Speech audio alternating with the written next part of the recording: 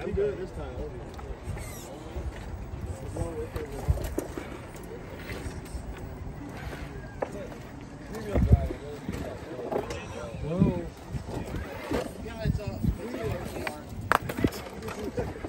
Hey, we gotta glue down those rocks.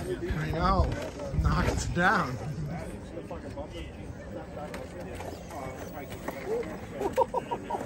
That's legit. Holy oh, shit. That's close.